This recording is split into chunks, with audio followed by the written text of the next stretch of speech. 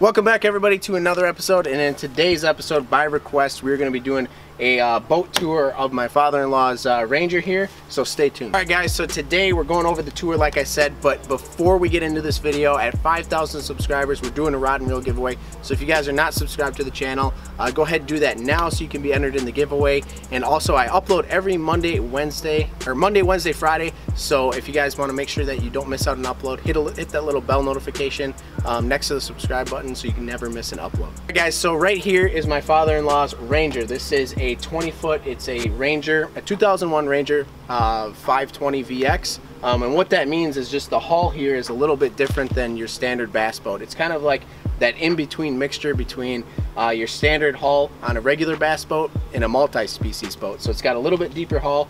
Um, the thing is a tank. It cuts through waves really, really well. Um, but yeah, the hull's just a little bit different on these boats. It's one thing that kind of makes these boats specifically very sought after is the fact that uh, they don't make these boats anymore, okay? So this particular design you won't see anymore. A lot of people really, really love these designs. We just seen um, in one of the tournaments we fished, we seen another guy who had, a, I think it was a 22 foot um, uh, VX as well, and uh, he really loved that boat. A lot of people um, look after these uh, this particular hull, um, but like I said, they don't make them anymore. So the first thing that we have on this boat, guys, we're just gonna do kind of a walk around on the outside of the boat here, but we had these uh, these steps. My father-in-law had these uh, put on here. These are really, really nice when you're uh, loading um, or unloading the boat, especially if you're by yourself. It really helps for loading the boat um, because when you get the boat onto the trailer you can come off of here and then you can go ahead and uh, crank up the winch without having to try to like balance and everything there. Um, or just getting in and out of the boat. These these steps are really really nice. Um, I highly recommend if you can get them on a trailer just to have them put on there. I know uh, some companies already have these like standard on their trailers. Um, but these were just fabricated um, by a company that he took it to and uh, they went ahead and did everything on it so moving down the boat here, guys, uh, we'll just cover the trailer really, really quick. Not that it's a huge deal, pretty self-explanatory. We have the trailer here, got a nice spare on here, and then it is just a dual axle trailer. Uh, pretty common on, I think, anything 20 foot or more is gonna have a dual axle trailer. Um, if you have an 18 or 19 foot boat, uh, I just, I don't know, dual axle trailers are really, really nice. Um, I had uh, just a single axle on my 17 foot tracker. Um, I guess it justifies the boat, but not as good for pulling. All right, guys, so on the back of the boat here, we have a couple of Minn Kota talons here. These are eight footers. Uh, right now, they're kind of down so we can fit the boat into the garage, um, but usually they're up a little higher. And then we have the big workhorse, and this is a 2009 Mercury uh, 225 Pro XS. Um, I would like to go um, up to a 250 on this, but this uh, particular hull at the time, it probably could handle a 250 just fine, um, but it was only rated for a 225 on here, so just have this 225 on here. This thing's a, a beast. It gets through the water pretty good um, and gets this thing on plane really well. And one thing you're really gonna want on a bass boat, guys, if you are looking at one, is a jack plate. Now this is a uh, CMC six inch jack plate here. This works amazing for shallow water, guys. Um, this is one thing that you really, really want. If you're gonna be fishing a lot of shallow water, this just helps so you can pull that motor up really high and get through that shallow water and also get on plane in and out of that shallow water areas.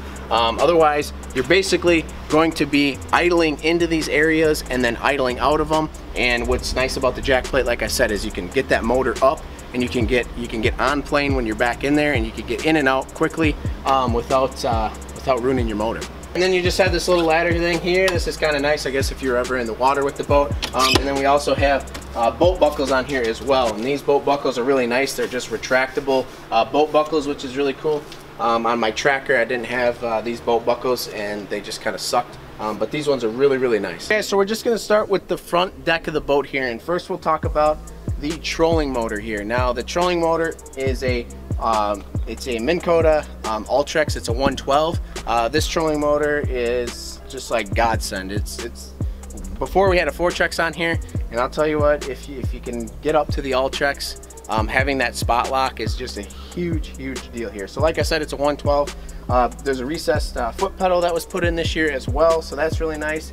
And then the electronics was just put on this year, and then this is a Humminbird uh, Helix 10 um, this unit uh, we put on there, really, really nice for down scan on the front um, instead of having to spin that other unit around.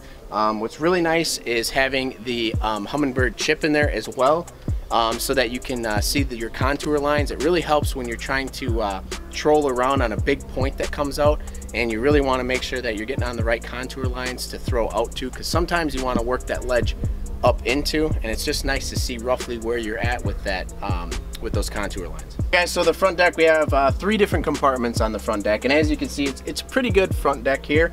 Um, we thought about kind of extending this deck back, but if we do with the second console there, it's not really going to, uh, it's going to really limit your space there. So we have the front deck here, um, and then we have this, uh, this trash can's really handy. Um, we have it Velcroed on, but it's really, really handy if you're just trying to toss plastics out of the way.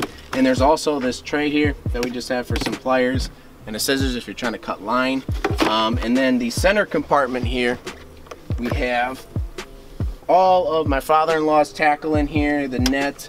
Um, this thing's pretty jam-packed uh, with tackle. Um, another thing that's really nice that we threw on here is these lights. Um, these flip on and off. Um, it's really nice when you, it's like, let's say tournament day right in the morning, you're trying to, or you're just out there really early in the morning, you're trying to rig up. These are nice, you can see what you're doing. Um, got the bump board in here as well. Um, and that is pretty much all that's in this center console is just a lot of extra tackle um, and die and whatnot. Alright, so in this compartment here, we have uh, just more tackle here. So this has got a ton of, uh, in this compartment here, we have a ton of different soft plastics. We have this little uh, rack here where you can throw your baits on to dry. Um, but like I said, there's just a ton of different soft plastics in here and just a lot more tackle.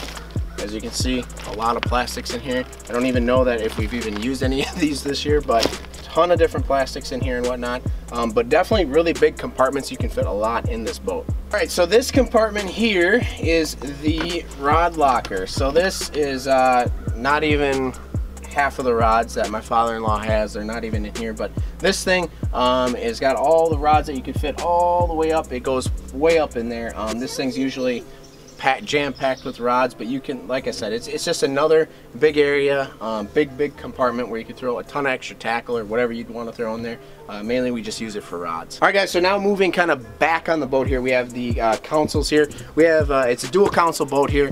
This first console just, you know, has some miscellaneous items in there, extra. Um, it's kind of nice actually having the second console, especially if you're a co-angler. Um, but it just kind of does get in the way if you're trying to re-rig things. But just put uh, extra camera gear and things like that in here. Um, there's also, if you uh, have uh, more rods than you need that you can fit on the front deck, you can put rods and slide them down there and strap them down as well.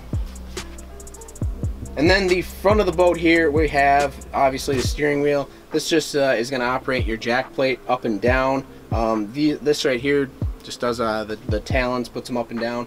And then we just have this unit here that came uh, with the boat. Um, does pretty well. I think eventually he's going to end up upgrading it to a 12, a Helix 12 on here, um, which would be really nice, just more to look at. Um, but for now, this thing's been doing well. Then it also has the hot foot down there. We uh, It's not hooked up right now because my father-in-law doesn't prefer to use the hot foot, but that's also on this boat if we wanted to use it um, and whatnot. And then obviously you have your, all your controls down here to operate your, your live well and whatnot as well. All right guys, so now the back of the boat here, the first compartment back here is just uh, kind of where we put, um, just we have the scale, uh, just some extra, some some G-Juice and just, just miscellaneous things that we need for the boat, uh, cull tags for tournaments, extra little prop here for the trolling motor if something were to happen out there. Um, this is just loaded with uh, different stuff like that. Mainly we just use it for um, getting our cull tags and scale out of here as well. And then this compartment here is got uh, extra rain gear, another extra prop here for the big motor if something happens.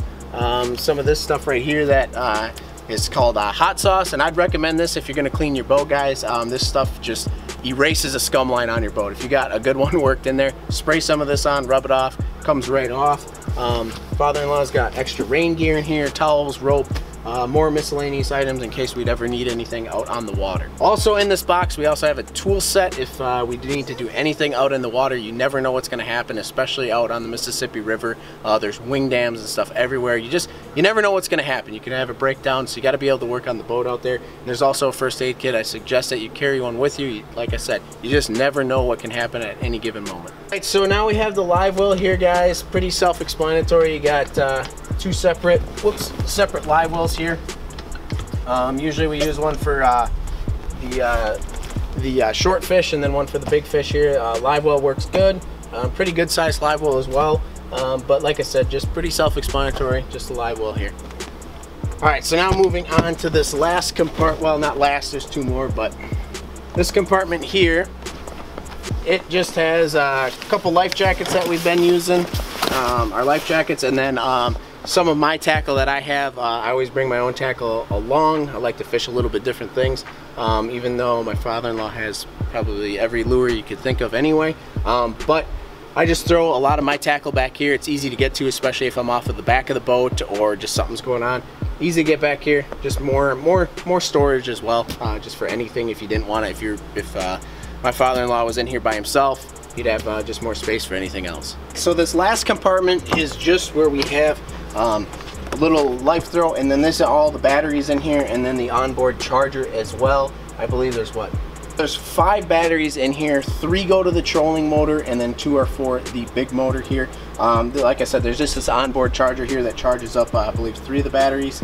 Um, and then you just got to charge the other two. But five different batteries on this boat. Um, that's pretty common on fiberglass boats. It's a lot of batteries. I know on my aluminum tracker I had what, uh, I just had two batteries. I had one for the, uh, the um, trolling motor and one for the cranking battery and that was it. But uh, on these bigger boats and uh, especially a bigger trolling motor, 112, those big batteries for that. All right guys, so one big thing with this boat that my father-in-law is gonna do is he's gonna put in these ion lithium batteries. What that's gonna do is really lighten the load on this boat, okay? We're gonna be able to pull out a lot of extra batteries here, put those in. Um, they're a lot more efficient. They're a lot pricier, but they're way more efficient. It helps the boat get on plane a lot faster.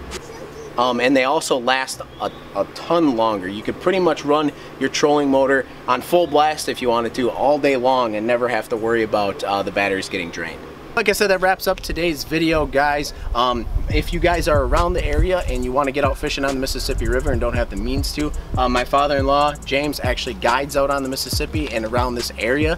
Um, so I will link his contact information down below. So if you guys uh, are looking to get out, do some fishing or want a guide and you're not from the area and you kind of want to familiarize yourself with the area, go ahead. I'll link his contact information down below so you can get in touch with him guys, so that pretty much wraps up the boat tour here. If you guys have any questions about the boat or anything, um, go ahead, drop them in the comments below. I'll do my best to answer them. Um, and like I said, if you guys have not subscribed to the channel, do that now at 5,000 subscribers. We're doing a rod and reel giveaway. And also do me a favor, go ahead and share this video on Facebook as well. Get this video out there so we can keep growing the channel. And like I said, that wraps up to today's video. I hope you guys enjoyed the video. Remember to like and subscribe. And until next time, keep fishing hard.